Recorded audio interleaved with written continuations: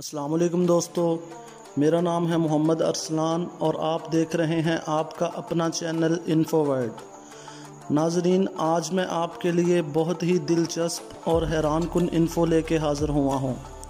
دوستو، آپ نے یہ تو سنا ہوگا کہ غیر قانونی طور پر کسی ملک میں داخل ہونے پر اور ریاست کی خلاف ورزی کرنے پر لوگوں کو اس ملک سے نکال دیا جاتا ہے۔ مگر یہ سن کر آپ کو بہت حیرانگی ہوگی کہ کسی کی خوبصورتی کی وجہ سے اور جازب نظری کی وجہ سے اسے ملک سے در بدر کر دیا جائے۔ تو چلیں ویڈیو کا آغاز کرتے ہیں اور ویڈیو کا آغاز کرنے سے پہلے نئے آنے والے دوستوں سے گزارش ہے کہ وہ ہمارے چینل کو سبسکرائب کر لیں اور بیل آئیکن پر پریس کر دیں تاکہ ہماری نئی آنے والی ویڈیو آپ کو جلد سے جلد مل سکے۔ دوستو، یہ ویڈیو ہے عمر برکان الگالا کے بارے میں۔ ناظرین، عمر برکان الگالا تیئیس ستمبر انیس سو نواسی کو عراق کے شہر بغداد میں پیدا ہوئے اور بعد میں یو اے ای یعنی متحدہ عرب امارات چلے گئے اور وہیں سے ہی تعلیم حاصل کی۔ ناظرین، الگالا اپنا چھوٹا سا بزنس اور ماڈلنگ کرتے تھے۔ مگر قسمت کی دیوی ان پر تب مہربان ہوئی جب وہ دو ہزار تیرہ میں سعودی عرب میں ایک فیسٹیول میں شریک تھے۔ تو کچھ لڑکیاں ان کو پہچان گئیں اور ان کے ساتھ سیلفیز اور آٹوگراف بنوانے لگیں۔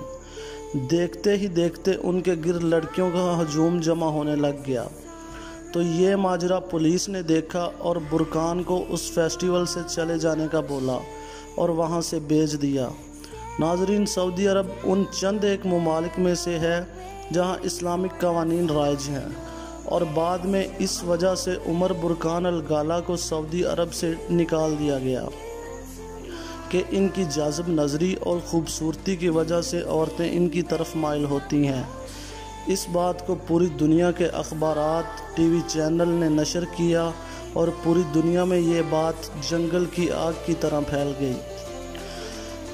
جس کی وجہ سے عمر برکان الگالا کو بے پناہ شہرت ملی اور ایک ہی رات میں فیس بک پر آٹھ لاکھ لوگوں نے ان کا پیج فالو کیا اور اسی شہرت کی وجہ سے ہی وہ بہت مشہور اور کامیاب ماڈل بن گئے۔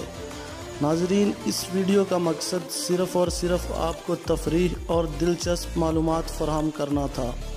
ویڈیو پسند آنے کی صورت میں اسے شیئر کریں اور اپنے آراء سے ضرور آگاہ کیجیے اور ہماری اگلی ویڈیو آنے تک اپنا اور اپنے پیاروں کا ڈیر سالہ خیال رکھیے۔ اللہ حافظ۔